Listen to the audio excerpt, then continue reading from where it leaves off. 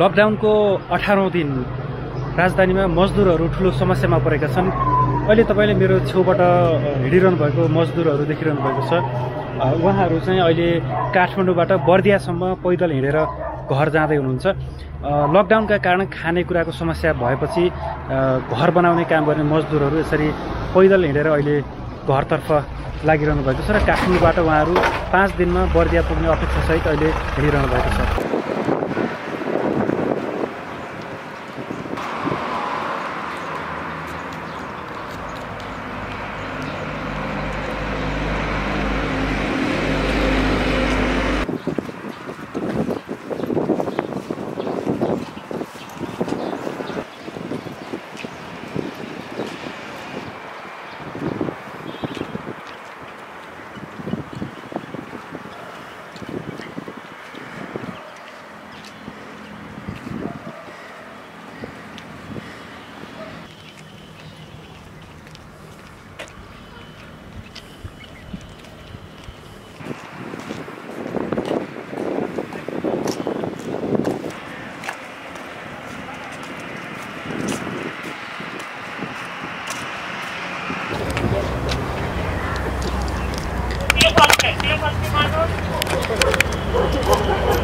तपाईँ यति बनाऊ अहिले जान मिल्दैन यसरी एउटा एउटा जिल्लामा अर्को जिल्लामा जान मिल्दैन भनिरहेको छ अहिले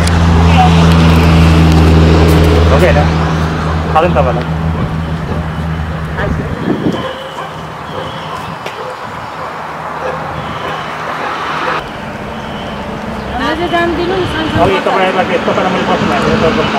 तपाईँको परिचय दिनुहोस् न दलबहादुर गुरुङ धनबहादुर गुरुङ।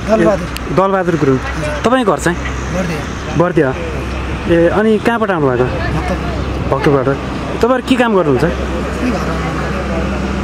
घर? बनाउने काम हो। तपाईँको परिचय दिनुहोस् न। धनबहादुर गुरुङ। धनबहादुर गुरुङ। धनबहादुर गुरुङ। तपाईँको घर चाहिँ? बर्दिया। बर्दिया। तपाईँहरू सबै घर बर्दिया? हो? हजुर। ए के काम गर्नुहुन्छ यहाँ यहीँ घर बनाउनु। ए अहिले चाहिँ कहाँ बस्नुहुन्थ्यो? हामी भक्तपुर। ए अनि किन घर जानु लाग्नु भएको? अब यहाँ त्यो बन्दले गर्दा होइन खाने रासन सासन पनि भएन गाडी पनि नखुल्ने भयो। अठार गते खुल्छ भनेर भएन पच्चिस गते। हजुर। खोलेर बोल्नु भयो नि हुन्छ एकछिन। अब गाडी बन्द भएर अनि कतिजना हुनुहुन्छ तपाईँहरूको ग्रुपमा? हामी दसजना। दसजना। दसजना। कतिजना हुनुभयो एघारजना। ए ए। अनि कहिले पुगिन्छ त यसरी हिँडेर बर्दिया? अब त्यो त हिँडेपछि त हुन्छ कति। हजुर। ए तपाईँहरू सबैजना घर बनाउने काम गर्ने हजुर। अनि खानेकुरा सकियो तपाईँहरूको? यो स्थानीय तहले राहत दिने भन्ने कुरा छ। चामल दाल तेल। अब त्यसमा ठेकदारको कार्डहरू के के चाहिन्छ अरे अनि अब त्यस्तो नभएको हुनाले। ए हजुर। ए अनि यो बाटोमा कहाँ बस्ने कहाँ खाने के योजना छ तपाईँहरूको? त्यस्तो त केही छैन है? मेरो नाम नन्दु गुरुङ हो। हजुर। बाह्रवर्दिया नगरपालिका हजुर। वार्ड नम्बर एक।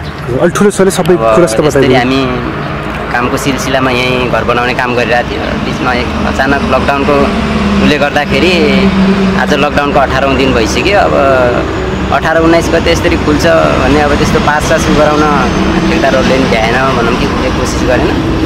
अनि त्यसपछि अब पच्चिस गते खुल्छ भन्ने कुरो भयो। त्यसपछि पच्चिस गते पनि खुलेन अनि हिजो पनि त्यस्तै अब शुक्रबार र शनिबार दुई दिनको लागि यातायात खुल्ने भ्यालीबाट बाहिर मान्छे जान पाउने भन्ने खबर पाइयो। त्यसपछि अब हामीले गाडी साडी त बनाइसकेको थियो फेरि अचानक बन्द भए बन्द अब यातायात बन्द हुने जान नदिने जस्तो भयो। अब यत्रो दिन बसेर खाइएको ठेकदारले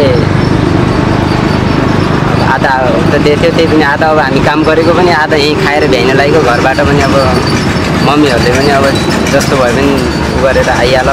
अब यसको खुल्ने कुनै निश्चितै भएन। त्यही भएर अब हामी सबै पैदल भए पनि गाउँ हिँडेको के चाहिँ अब उनीहरूले यहाँ सबै कुरा व्यवस्था गरिदिनु पऱ्यो तपाईँहरूलाई? मेरो नाम मदन बस्नेत हो। मेरो गाउँ जमुनिया बर्दिया जमुनिया हो। अ, मेरो बाह्र बर्दिया वार्ड नम्बर एक जमुनिया। हामी सबैजना उहीँ बर्दियाकै छौँ धेरै। अनि हामी लगभग चार पाँच दिनमा पुग्ने भनेर हिँडेछौँ। पुगिन्छ भने योभन्दा अगाडि पनि तिस तिस बत्तिसजना गए हाम्रै गाउँको गएको थियो सर। र हामी पनि अब हिँडेछौँ पुग्छौँ भनेछौँ के हुन्छ। गाडी खोलाइदिएको भइदिए भए यहाँ फसेको मान्छेहरू आफ्नो घर जानको लागि सहज हुन्थ्यो स- सजिलो हुन्थ्यो। सबै धेरैजना छन् यहाँ जाने भनेको।